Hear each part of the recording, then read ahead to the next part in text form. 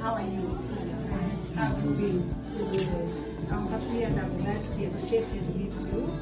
I call myself Steph Kiriwa. I'm in fashion industry. I dress go up women a chance. I not only dress go up when a chance, but I also have free advice on body fitness and nutrition. I'm passionate about fashion. I speak fashion, I eat fashion, I feel fashion. I not only sell clothes, but I also offer free advice on body fitness and nutrition. And besides, I'm an about farmer.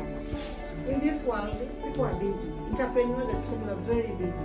You don't have time to exercise, you don't have time to eat well. So in this world, if you don't eat well, if you don't exercise, if you don't rest, you cannot achieve.